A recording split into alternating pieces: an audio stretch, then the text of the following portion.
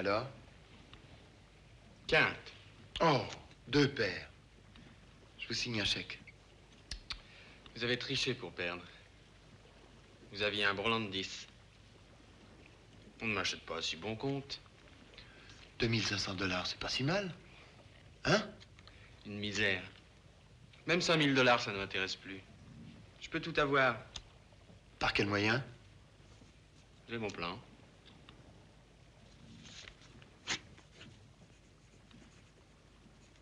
Imitez ma signature. Allez-y. Évidemment, comme ça. Mais je vous ai dit, tout ça prend.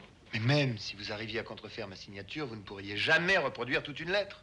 Mais si, j'ai votre machine. Rien n'est plus facile que d'identifier les caractères. Et si je la fous au jus?